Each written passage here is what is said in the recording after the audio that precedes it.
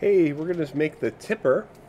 And what we start off with, you'll see that these two, they got drilled at the same time. And these holes are kind of wide on the popsicle stick. These are closer in. And I'm just curious to see what happens if we make the stick longer and have the holes even closer on the second one. So we'll make that one quick at the end. Assembly is pretty quick. Once you have the holes in the right spots,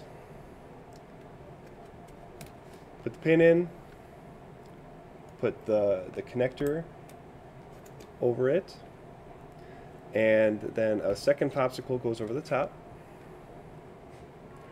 Then we'll do the exact same thing for the top pieces.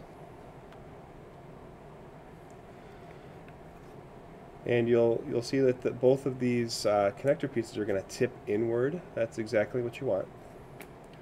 So once we have those pins through both, you'll see that this will tip as it goes back and forth. When we glue it on there, then we'll make the second one quick. and so here they are together. This one gets a nice little tipping action with these short legs and that, you know, little difference between the top and the bottom. Over here, this one, after it's assembled, can tip much further. So depending on what you have, if you want it to tip more dramatically, give it longer legs, and put these holes closer together. If you don't, if you want it to just have a little subtle motion, do something like this.